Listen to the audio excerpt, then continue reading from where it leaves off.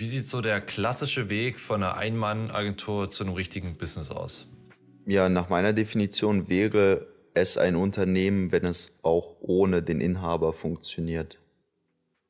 Also ab dem Zeitpunkt, das heißt, du musst alles an einen Punkt bringen, wo andere Menschen, die nicht du sind, alle Aufgaben, die nötig sind dafür, dass eine gute Leistung Kunden erbracht wird und Kunden da sind und kommen und bezahlen.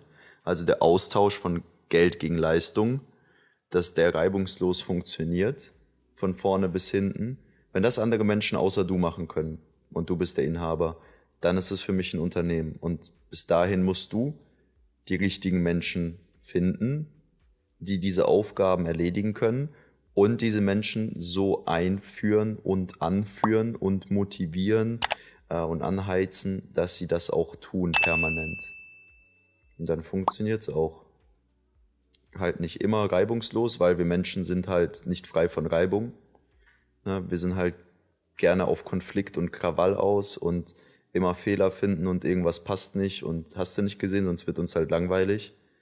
Na, also aber dafür holst du dir dann auch einen Geschäftsführer. Ja, jemanden, der das Geschäft dann nachher führt komplett.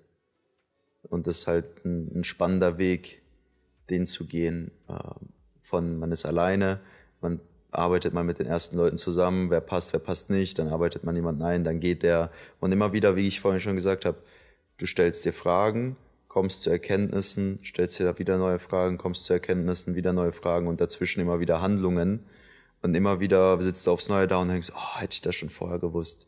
Boah, oder hätte ich das vorher schon anders gemacht oder früher verstanden oder hast du nicht gesehen.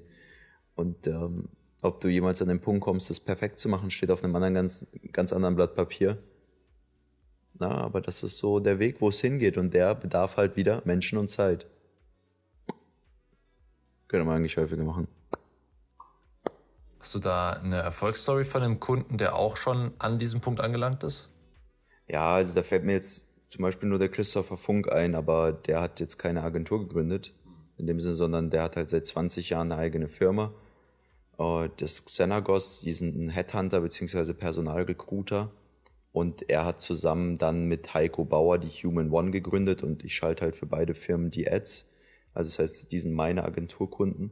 Und ähm, Chris hat halt den Heiko dazugeholt, damit Heiko nachher der Geschäftsführer ist. Das heißt, Chris ist eigentlich nur strategisch in der Firma drin, mehr oder weniger nicht operativ. So, das heißt, er hat es in dem Sinne geschafft, noch eine weitere Firma, ich glaube, der hat auch ein paar andere weitere Firmen noch, in denen er halt strategisch nur drin ist und als Investor und als Gesellschafter und halt nicht operativ. In dem Sinne, ne? Und ansonsten die meisten anderen Jungs und Mädels, mit denen ich zu tun habe, ähm, die sind alle irgendwo noch als Geschäftsführer mit drinne, beziehungsweise in anderen operativen Tätigkeiten mit drinne, weil wir auch alle größtenteils noch so im Saft sind, dass halt keiner hingeht und sagt, ja, ich habe jetzt keinen Bock mehr, nichts zu machen. Auch wenn es damit jetzt nichts zu tun hat.